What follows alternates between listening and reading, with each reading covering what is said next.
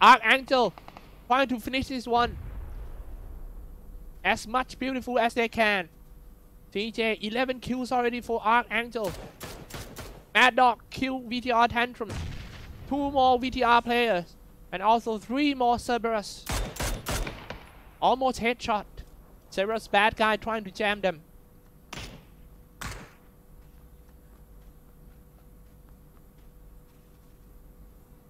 Four team left. ArkAngel got four. VTR one. Cerberus four.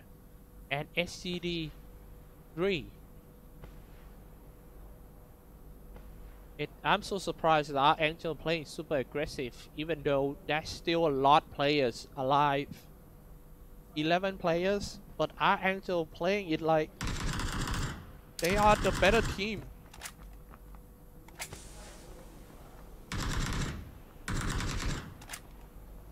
And if ArkAngel win this map, it's gonna boost their confidence a lot. Uh, Cerberus bad guy to shoot down the last player of team victim rise.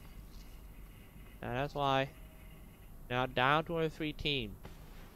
Four, three, and three. It depends on which party gonna fight first. Everyone throw out the smoke.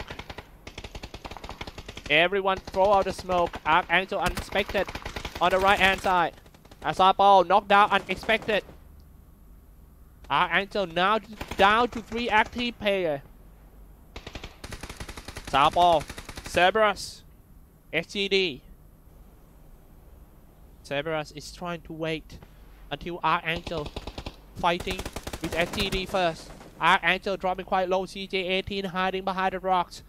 Cerberus is charging in. Subang, Cerberus. Subang needs to know that his teammate's already down.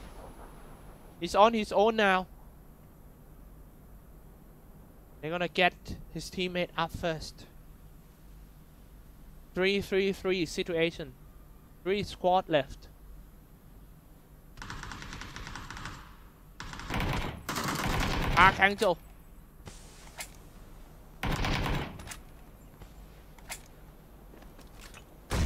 ArkAngel. Oh my goodness! SGD throwing a grenade on Team Cerberus. And that was a good grenade. And a Team Cerberus eliminated. Now it's a fight between ArkAngel and SGD. And him SGD won. Wow. You see that grenade? Holy shoot, the grenade.